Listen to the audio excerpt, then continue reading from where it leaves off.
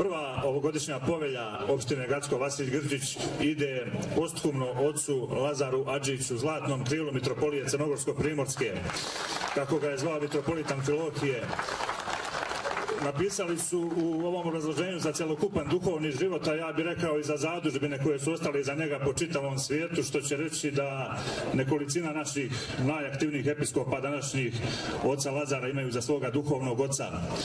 U vrijeme ono dolaska mitropolita Amfilohija u Crnu Goru 90. i 91. godine Lazar je bio temelj Ostroškog manastira i oživljavanje života monaha u njemu. Tako da ono zapretanje, da ono ispretanje zapretanog žara u Crnoj Gori ne bi bilo moguće bez njega. A otac Lazar govorio je ne gledajte u mene, položite nadu na gospoda. Zbog toga je zaslužio da ovdje u svom Gacku danas bude ovaj događaj kojim ćemo vratiti njegovo ime Hercegovini i kojim ćemo ga povezati, i kojim ćemo opet povezati Crnu Goru i Hercegovinu u jedno. Sjećam se jednom prilikom dok sam razgovarao sa mitropolitom Amfilohijem, rekao je na neko naše tipično crnogorsko hercegovačko e, pretjerivanje, kaže ne da sveti Vasilije da se mi razdvojimo. Tako je i bilo, a otac Lazar hodio je putem svetog Vasilija. Tako da je ta veza Crne Gore i Hercegovine ovoj ličnosti iz Gacka ojačana po ko zna koji put i zaista ne daju Vasilije i Lazar da se mi razdvojimo. U ime Ostroške obitelji nagradu povelju pove, Vasilj za oca Lazara Adžića preuzet će protosinđel Sergije iz manastira Ostrog.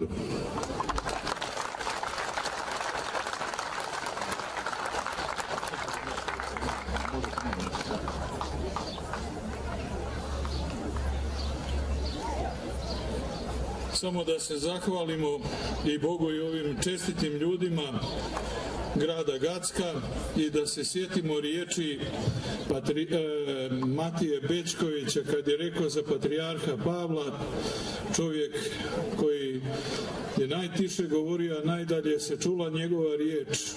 Upravo takav je i ovo što je rekao brat naš. I bio jeste i ostaje uvijek u, u živome gospodu Isusu Hristo, Hristu.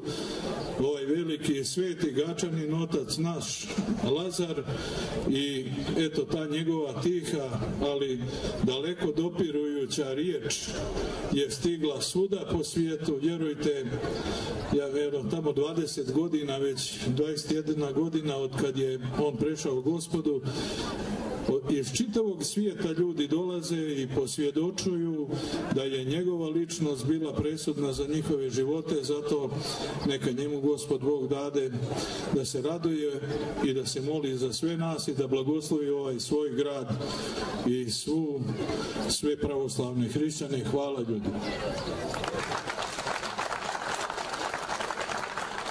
Hvala oče Sergije što ste, se što ste nas udostojili vaše posjete i izveli blagoslov manastira Ostrog na Gacko danas. Hvala bratstvu Adžića koji su dali prvu ideju.